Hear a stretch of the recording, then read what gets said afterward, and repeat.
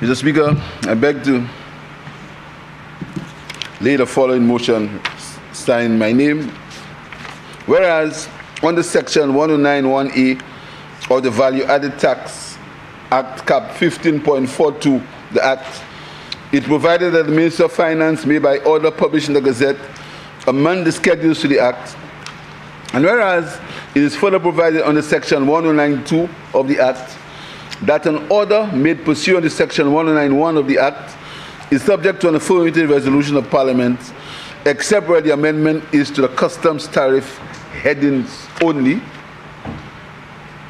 And whereas the Minister of Finance seeks approval of the draft value added tax amendment Schedule 1 order to amend Schedule 1 of the Act by an affirmative resolution of Parliament to include as zero rated goods for a period of two years commencing from 2nd day of August 2023 and ending on the 1st day of August 2025 a supply of goods under the customs tariff headings 3925.90 other articles of plastic 72.1 not to 72.16 steel 8302.41 based metal mounting suitable for buildings.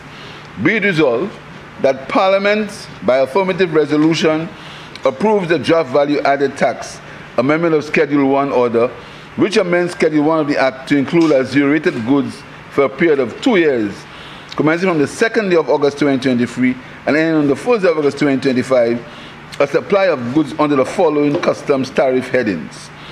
3925.9 knot, other articles of plastic, 72.19, 72.16 steel, 802.41 base metal mountings suitable for buildings.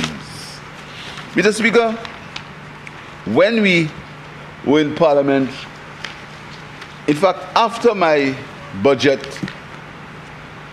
my budget statement in April, Mr. Speaker, I made a point that the government would be introducing a health and security levy.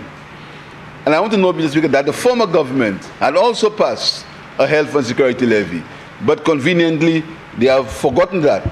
That they passed, the last government also passed the and security levy.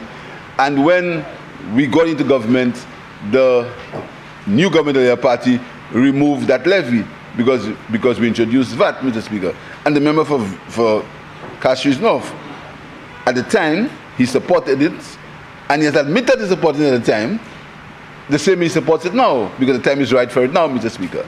So, but the problem with the last government is they never want to admit the truth. That's the, basic, the basic problem. So they also had passed a health and security levy. So, Mr. Speaker, when we passed the health and security levy, we made a point in that goods that were zero rated for VAT purposes or exempted for VAT purposes, Mr. Speaker, there would not have been a health and security levy on these goods. Let me say that again. All goods that were zero rated for VAT or exempt for VAT, there would not have been a health and security levy on these goods, Mr. Speaker. Then, Mr. Speaker, we removed VAT on certain building materials cement, steel, plywood, and galvanized cover material. We removed the VAT on them, Mr. Speaker. So, Mr. Speaker, there are thousands of goods that are imported in thousands of goods, Mr. Speaker. So, there were some discrepancies in that some goods on some goods on the customs tariff, and if you know it's a big book, the customs tariff, thousands of goods, Mr. Speaker.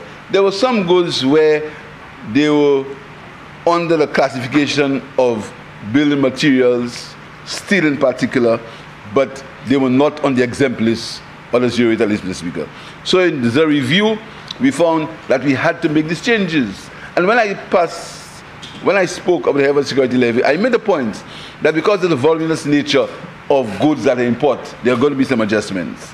So what we're doing this morning, Mr. Speaker, is we are making these adjustments to ensure that the reduction, the removal of VAT on building materials of all types of building materials. And in that case, these building materials Mr. Speaker, are steel and steel-based mountains, mount, steel-based mountain suitable for buildings, Mr. Speaker.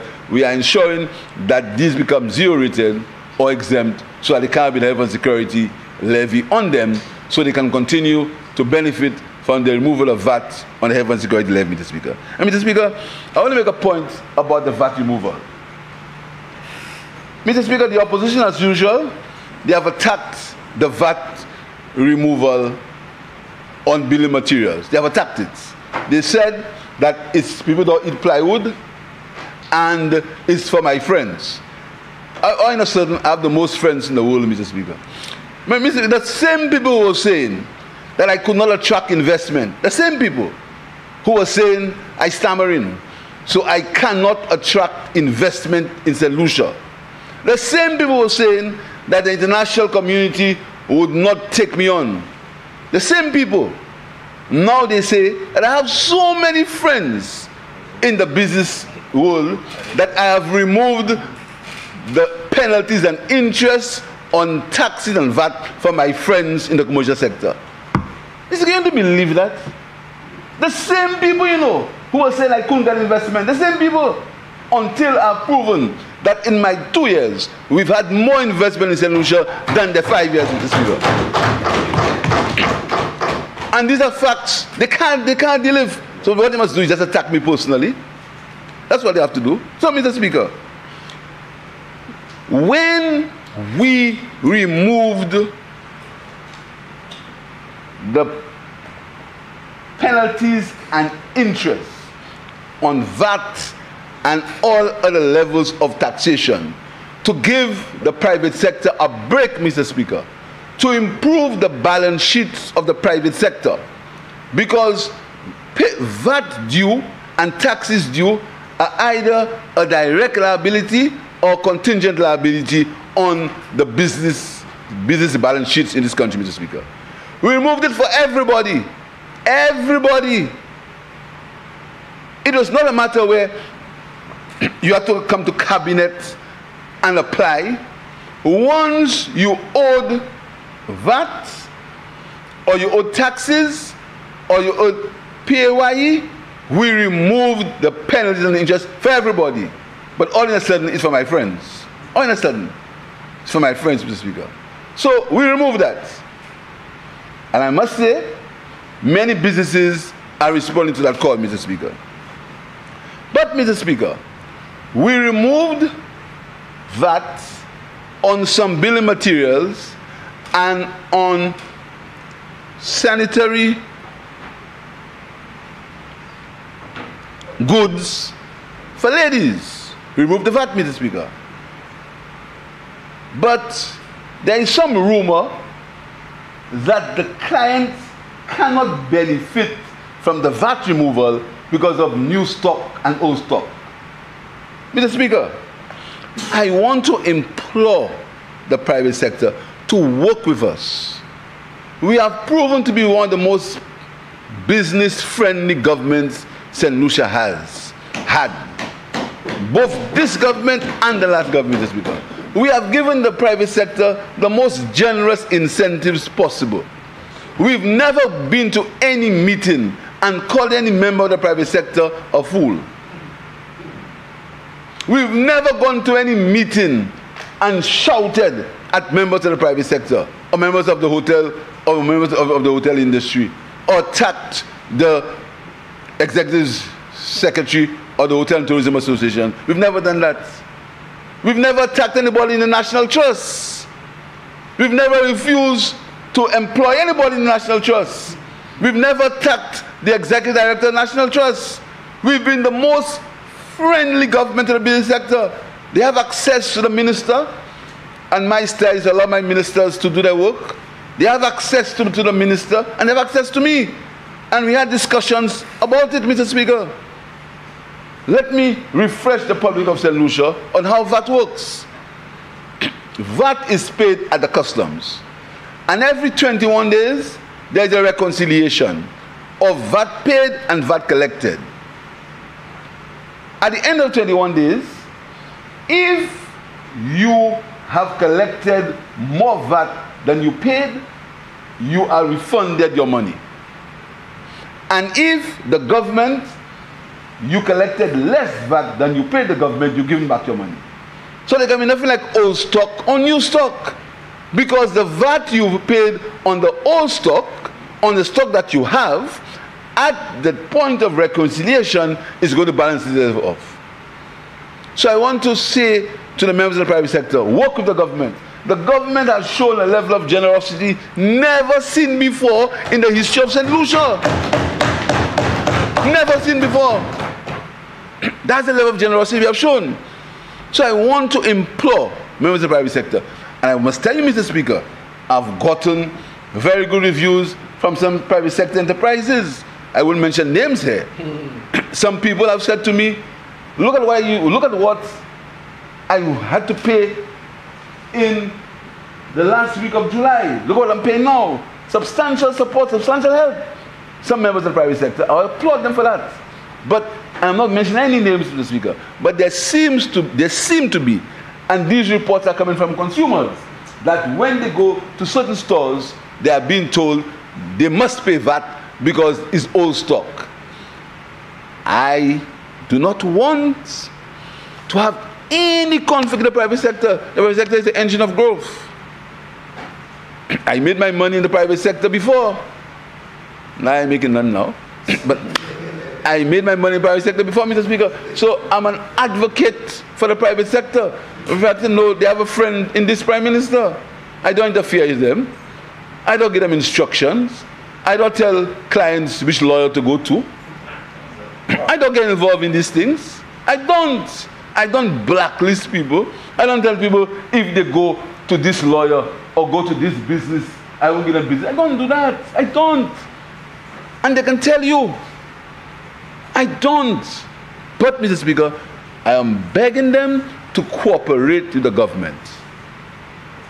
Please, please, this is a plea for the items where the VAT has been removed, allow the people to benefit from that concession. Please. Please. The old stock rule is not right, it's not true. You will get your money back when the reconciliation is done. So there is no old stock. There's a cutoff point. I mean, Speaker, I made that pronouncement from April, and I've had to tell my technocrats the same thing. When the Minister of Finance, regardless of who he is, makes a pronouncement, you have to follow up to the pronouncement of the Minister of Finance. You can't wait. I have to tell them that. So the idea that we not, and we came back to you know, another resolution, another bill to give some time. And I did that because I want to cooperate with the private sector. You can't tell me you didn't have any time. That was said in April, and we said it to be implemented in July. That was, these statements were made in the country's budget by the Minister of Finance, regardless of who the Minister of Finance is. So the idea that you didn't have time is an excuse that I accepted this time because I want to work with the private sector. I want the private sector to continue to be the engine of growth. So I accepted this excuse about time. But there's nothing like time in this business. A pronouncement by the Minister of Finance is a policy, and the technocrats in the Ministry of Finance the private sector the, must follow these pronouncements until they hear different, regardless of who the Minister of Finance is, Mr. Speaker. So, Mr. Speaker, this amendment is to make to ensure that the benefits of the 12.5% reduction in VAT, everybody benefits, Mr. Speaker. So this is why we are making the adjustments. And the other one, Mr. Speaker, the other bill is the same. I don't know if you want me, I can't deal with it now, but the other bill is the, the other resolution is the same, basically the same, Mr. Speaker. But, huh? Do you know? It's basically the same, yeah. But the other one is, is even more significant in that the other one is helping the manufacturing sector, which I know the Member Choiseul is has a very has a, a very is very close to his heart. now, Mr. Speaker, let me tell you something. I'm glad that he brought it up, Mr. Speaker. Mr. Speaker, you know, there is so much hatred in this country. The opposition is stirring, is boiling up so much hatred in this country that the members of the Manufacturers Association, in all good conscience, wrote the Minister of Finance with some queries. Because I don't think they were present at the meeting that the Minister of Finance held in the Chamber of Commerce. They wrote it for all good conscience. The letter was not, did, did not intend to do any harm. They, didn't, they, they, they were asking a question. But you know, Mr. Speaker, that letter was leaked to the press. And a big story. The world is coming down. The government don't know what they're doing. Peer again. And all just trying to create disorder, trying to create disunity, and trying to create confusion because of their hatred, their love for power what they call in the ghetto the copwell.